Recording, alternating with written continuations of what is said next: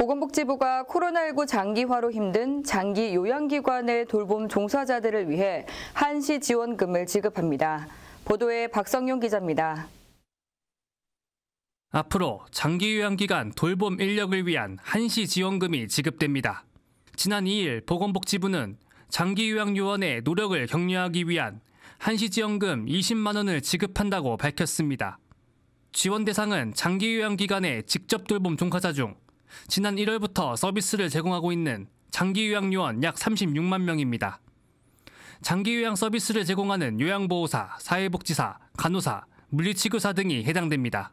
다만 가족관계인 수급자에게만 서비스를 제공하는 요양보호사는 지원 대상에서 제외됩니다.